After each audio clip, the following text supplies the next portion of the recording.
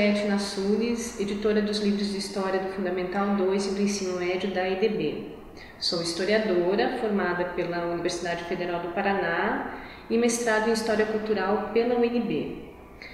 A coleção dos livros de história da EDB contou com a participação de quatro autores. A professora Marina Mesomo, que escreveu sexto e sétimos anos, e o grupo formado pelos professores Ana Apel, Maria Betânia Araújo e Norton Friese Nicolasi Júnior.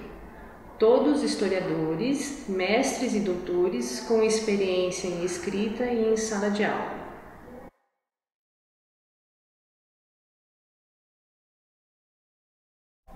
A disciplina de História segue os objetivos gerais propostos pelos PCNs, sugeridos pelo MEC até então, de situar os acontecimentos históricos e localizá-los em diferentes multidisciplinaridades de tempo, reconhecimento da alteridade, interdisciplinaridade, desenvolvimento de senso crítico, protagonismo do aluno, valorização do patrimônio e da memória social e cultural brasileira, incentivo ao exercício de cidadania e ainda mais, atualização do conhecimento científico, discernimento sobre o acesso à informação do mundo contemporâneo e exercício da Lei 10.639 e 11.645, que tratam da história e da cultura dos povos tradicionais indígenas e da história e da cultura dos povos africanos e dos afrodescendentes no Brasil. A coleção apresenta abordagens e objetos da cultura brasileira, por meio da história cultural, do cotidiano, da ciência, das mentalidades, etc., por meio das quais são trabalhados velhos e novos temas, novos objetos sob outros pontos de vista. O material está organizado em duas partes que se complementam, a impressa e a digital, sendo essa segunda interativa e mais completa com o caderno interativo. No livro digital são encontrados os ícones que podem ou não ser online e linkam o livro com o conteúdo digital e da internet. No livro do professor há um ícone especial para as orientações metodológicas e gabarito.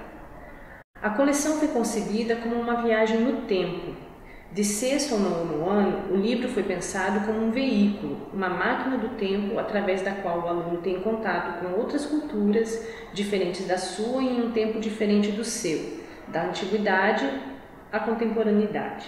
Em alguns pontos da coleção são propostas atividades que visam pensar o tempo futuro. No entanto, o maior foco é sempre a relação que tanto passado quanto futuro têm com o presente.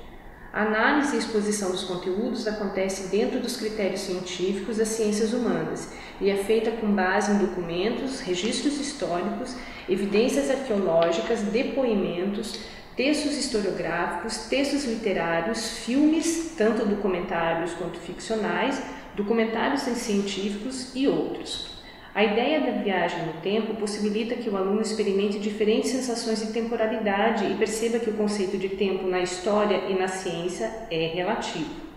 A viagem no tempo não é utilizada apenas como um mecanismo narrativo ou pano de fundo. Para sua compreensão, o aluno é convidado, no último livro do nono ano, a entender o aspecto científico da viagem no tempo, sendo essa também uma proposta de interdisciplinaridade na construção do conhecimento.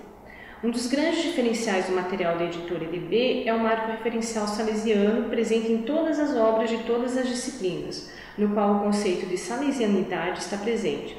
A salesianidade está implícita em várias atividades e no desenvolvimento de vários conceitos humanistas abordados pela história no decorrer da coleção.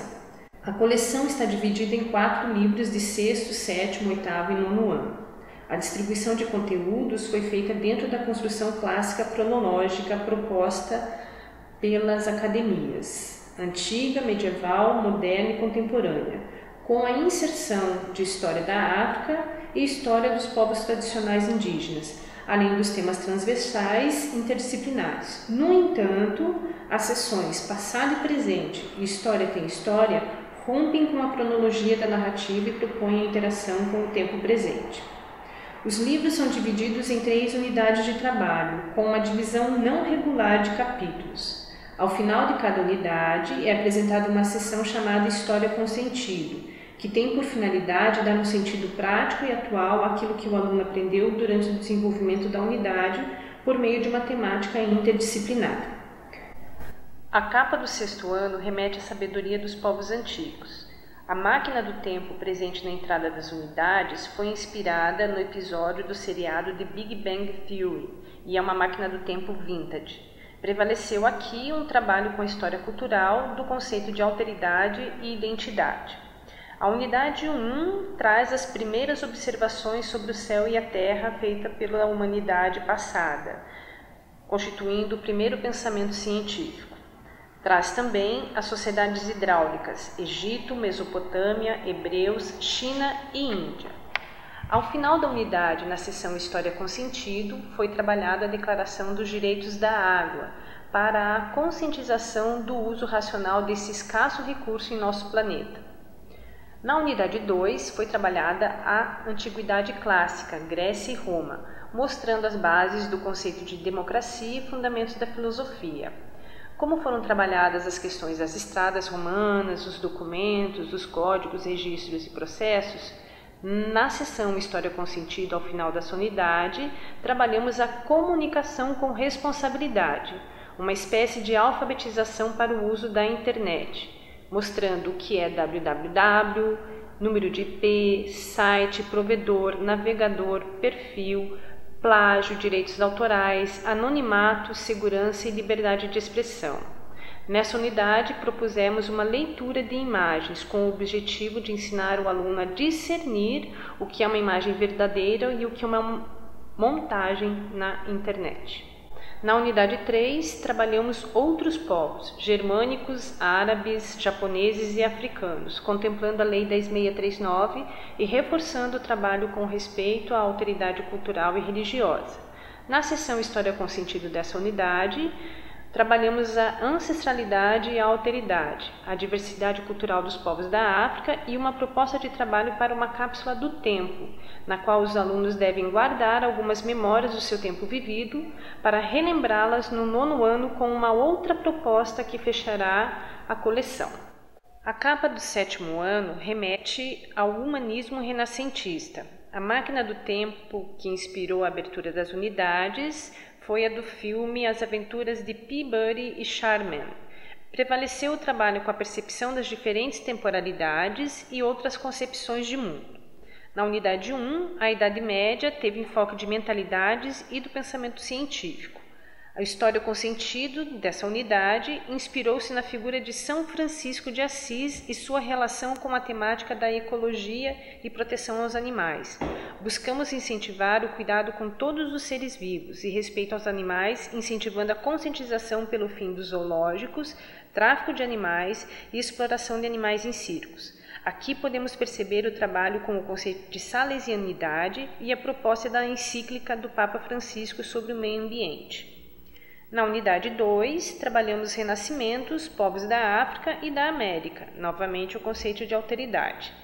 No História com Sentido, foi trabalhada a Declaração dos Direitos dos Povos Indígenas da América, o conceito de ancestralidades, bens culturais, patrimônio material e cultural e valorização da cultura indígena. Na unidade 3, trabalhamos o encontro dos mundos, as diferenças culturais, as heranças, as rupturas e as permanências, o contato e a invasão dos europeus. No História com Sentido dessa unidade, trabalhamos a valorização e reconhecimento da cultura indígena ancestral e atual. No Brasil, todo mundo é índio, exceto quem não é, como diz Eduardo Viveiro de Castro. No oitavo ano, a máquina do tempo inspiradora foi o seriado americano Stargate. Prevaleceu o trabalho com o conceito de modernidade, revolução e ciência. A unidade 1 trabalhamos as revoluções tal como proposta pelo historiador Eric Hobsbawm. No História com Sentido, buscamos sentidos, várias acepções, vários sinônimos para a revolução. Na unidade 2 foi trabalhado a temática da industrialização Trouxemos nessa história com sentido uma conscientização sobre a organização e normas de trabalho. Unidade 3 trabalhou-se ciência e tecnologia, pesquisas e invenções científicas que mudaram a sociedade, além do quadro político do Brasil.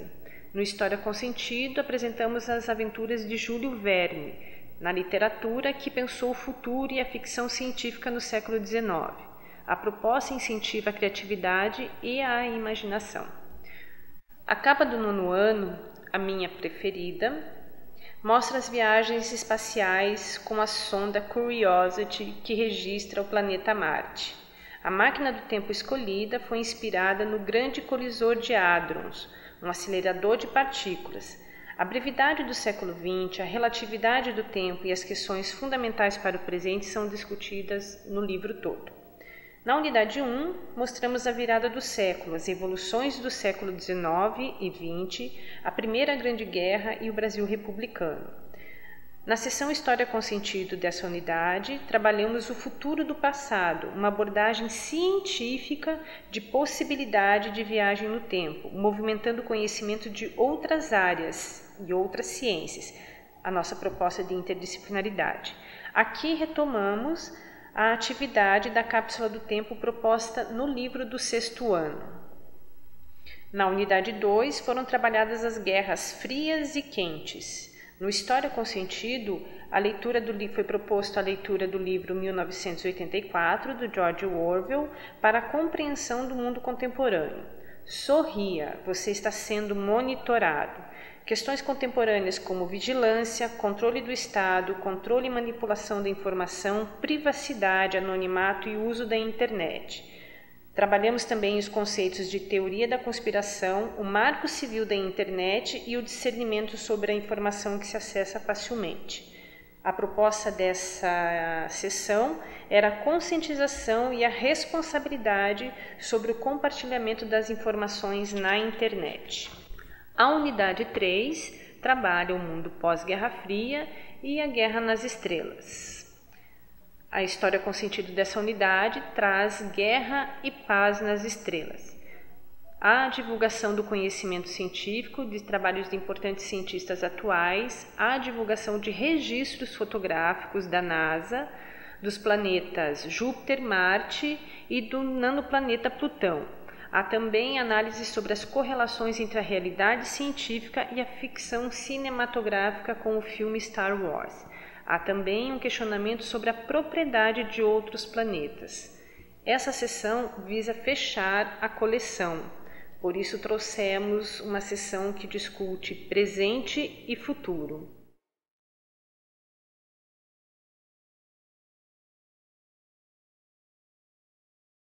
Além do desenvolvimento das competências e habilidades como produção e interpretação de texto, a coleção de história incentiva o protagonismo do aluno para o desenvolvimento do conhecimento científico interdisciplinar e o discernimento crítico e responsável no uso das novas tecnologias e referenciais históricos e cotidianos dispostos na internet.